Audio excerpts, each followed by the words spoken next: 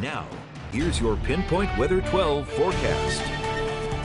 Happy Sunday, everybody. It's a beautiful start to our day out there. Beautiful clear skies. We're seeing a beautiful sunrise out there. I know I keep using the word beautiful, but that's really just the best way to describe it. We're seeing a little bit of extra color out on the horizon, and we're just a, a few minutes off from that sunrise, just a, a less than 10 minutes out there. Here's that look out towards New Bedford. You can see a little bit of orange out on the horizon. Same for Newport. A couple of clouds a little bit further away from our area, but overall, just a nice clear start to your day. So what are we tracking? Well, we have two features that we're dealing with for today.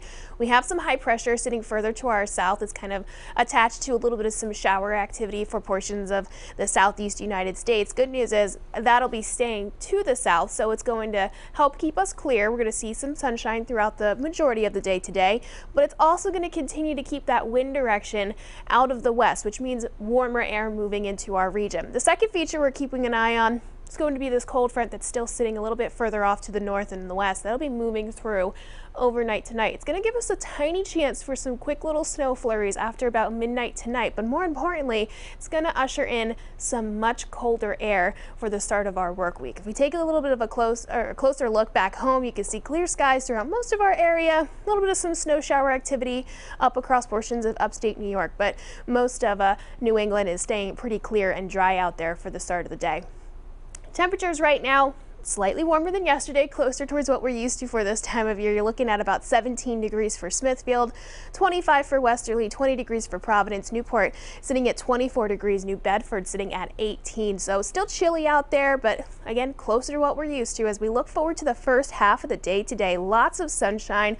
A couple of scattered clouds will start to pop up during the late morning and into the afternoon. Those temperatures will be uh, already back up into the 30s by about 10 a.m. So already a, a quicker warm up than what we saw for yesterday. As we look at your overall forecast, we're going to be topping out closer to the 40s. That's near normal for this time of year. So all in all for today, just more seasonable compared to those cooler temperatures that we've been seeing for the past few days. That being said though, feel like temperature, that's going to be another story. We're still going to be very breezy throughout the day today.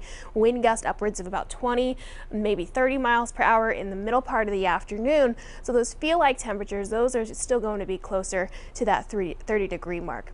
Hour by hour forecast as we head forward to overnight tonight is when we see that cold front clear our area. We'll be seeing a chance uh, for a couple of quick little flurries here or there. Again, it's going to be really spotty activity, mostly just a couple of clouds rolling in.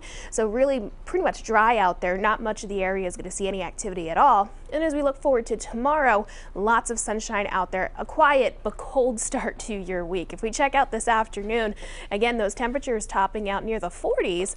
So it'll be uh, a little bit more comfortable out there right along the coast. Narragansett 40 degrees, uh, 39 for Burrillville and Scituate, Providence looking at 41 degrees. And then as we look a little bit further off to the east, you're going to see Fall River 40 degrees, New Bedford looking at about 41. Looking at that seven day forecast overall this week, we're staying kind of below normal with those temperatures. Wednesday would be our hot spot, but even then, not too far off than what we're used to. You can head over to WPRI.com. We've got that full seven day forecast. You can check it out anytime you like. All right. Thanks, Brittany.